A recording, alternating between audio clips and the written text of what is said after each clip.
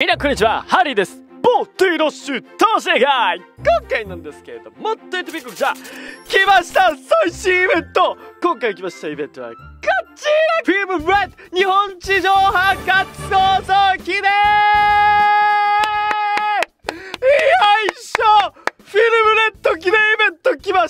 まあちょっと前にね、フィルムレッドがなんか地上波で始まりますよみたいな感じのね、情報が流れてたんですけれども、いや、バウンティラッシュ来ないんじゃないかなと僕思ってました。いや、来ました今回来たイベントの中ではね、タイヤハイク、かけらのハイクともにないんですが、まあ、これ系はね、ちょっと大きいよね。ここまでゲットしたいかな、ブースト2のところはね。まあまあまあ、長いイベントになってます。11月3日、ヤマトの誕生日まで繋がるっていうことで、まあ意外といいイベントになりましたね。フィルムレッドシリーズボスバトル？フィルムレッド系のボスバトル来た初めてじゃない？これ。ちょっと待って、ボスバトチケットゲットして、え、なになにどんな感じのやつ？うわーレッドシャックスだ来たー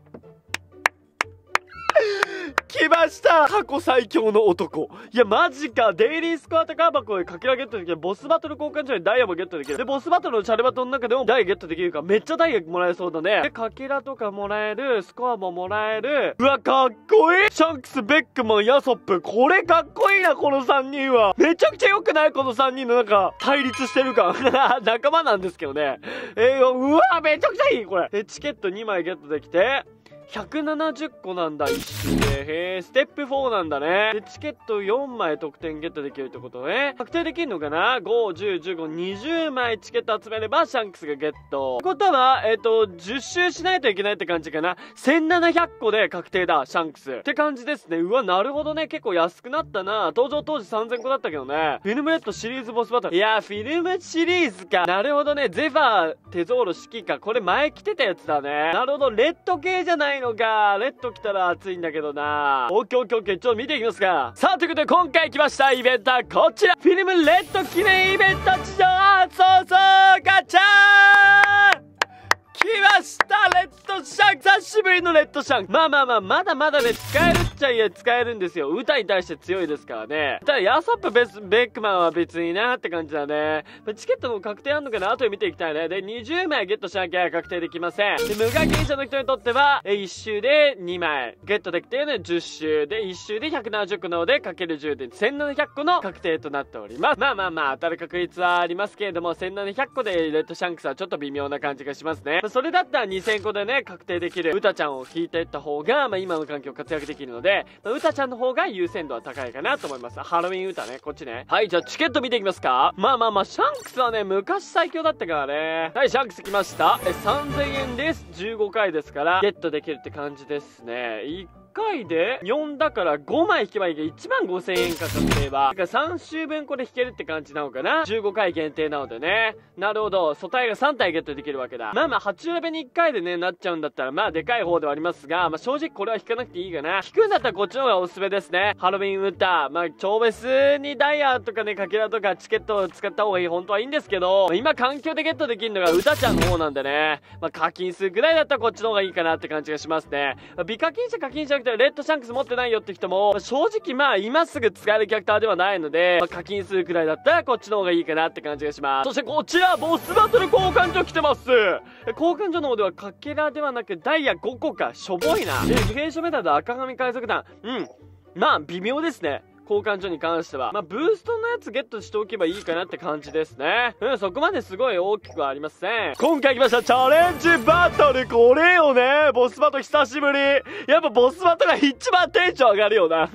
で、今回は報酬アップはしてないんかいダイヤ15個、かけらは60かな普通にね。はいはいはい、まあ普通ですね。いや、そこまで大きい感じはなかったけど、ボスバトはでかい。1週間の間できるしね。しかも、ボスバトってみんなね、知らないかな知ってるかわかんないけど、これね、クリアするとね、かけらもらえるんよ、キャラクターの。で、そのかけらを頑張って集めていけばね、無課金者の人も、めちゃくちゃね、サポートをアップしていくんで、ぜひですね、このスケジュール通りでみんな頑張ってやってみてね。いや、めちゃくちゃいいぞ、これは。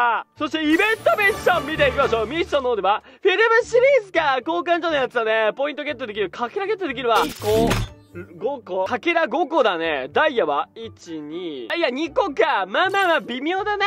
うん、だから22個って感じだね。全体で合わせるとね。まあそんなに多くはありませんでした。まあポイントゲットして頑張ってやってみてください。そして現在、デイリースコア宝箱。ここが今増量しまして、え、かけらがここでゲットできるようになったんだっけ？これでかいね無課金賞人もぜひデイリースコア頑張ってやってみて。あ、ということで、現在復刻しております、レッドシャンクスのござガチャでございますが、引くべきなのかどうかっていうことに関してなんですが、まあ、基本的には無課金賞皆さん引かなくて大丈夫です。スルーでいきましょう。まあ、ただし、ただしね、まあ、最強なキャラクターではあるんですよ。得意属性とかね、覇気持ったキャラクターとかね、そういうので破棄解除される可能性もあるんですが、このキャラクター、白シャンとはちょっと違いまして、ジャスト回避すれば破棄がまたつくんですよ。それがでか白シャンにこの性能をつけて欲しかった、正直。まあ、それくらい、ジャスト回避すればば覇気がつく。で、覇気がつけば、よろけ無効になる。で、なおかつ最大体力減少ができて、教習で満帆もできる火ダメージ現象無視、まあ、結構優秀なキャラクターですね。なのでまあ使える子によってはまだまだ使えますしウタちゃんに対しては黒属性で強く出れるということなのでぜひですねシャンクス欲しいよって人は引くようにしてみてください。ただ環境では結構きついキャラクターになっております。まあねそもそもいろんなキャラクターが苦手でして白シャン。まあそもそも白属性なんで KO されますしまあルッチとかの機動力にはついていけませんし緑属性で同じくジャブラとか緑ロジャーがいますがそのロジャーたちと比べてみるとね KO できるキャラクターの割合っていうのがかなり少なくなってます。ので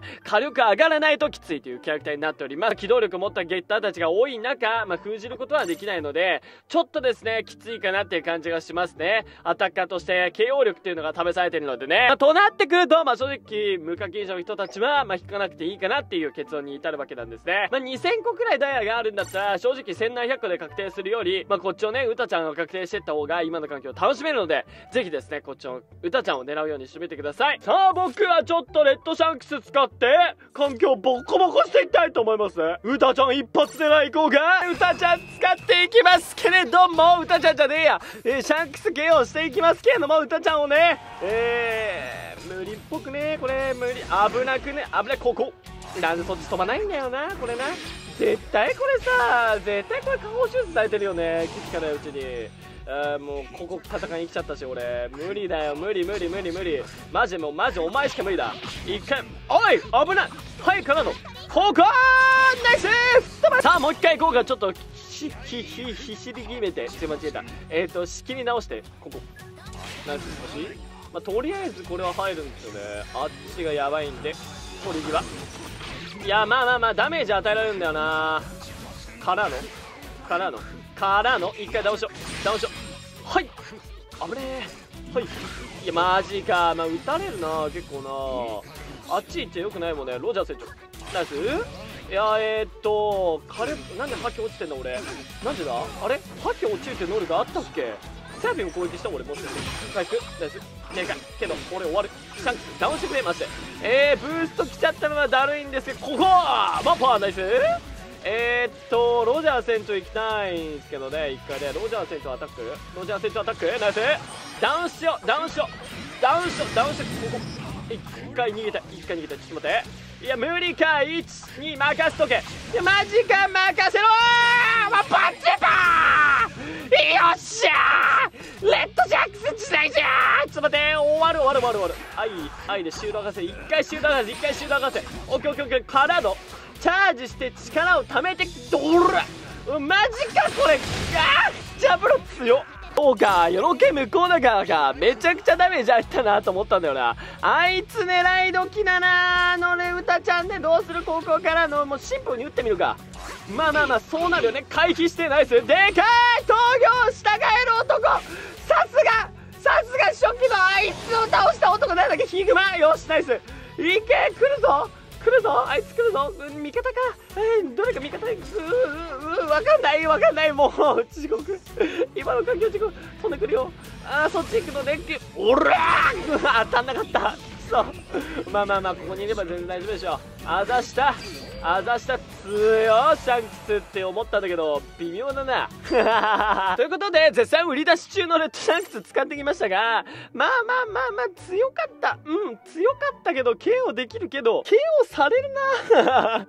めちゃくちゃ KO されるな。ドローケ向こうっていうのがねあだとなって今多段攻撃多いですからむちゃくちゃ入っちゃうんでねその点きついのかなと思いますけどね。はいということで戦った感じではまあきつかったですけど KO できないわけではありませんでした、まあ、KO 楽しみたいよって人はぜひ使ってみてください。えちなみになんですけどえ今日ですねえそのチャレンジバトルのボスバトルが来ました。ボスバトル攻略のためにはまあパーセントを上げてください。総合力は何でもいいのでパーセント使いたいキャラ決めてパーセントを押してあげると今ここはですね340%になりました。340%くらいあればねもう2回3回くらいで終わるんではいもうガンガンやっちゃってください。ということで見ていってください。次の動画でお会いしましょう。ではまた。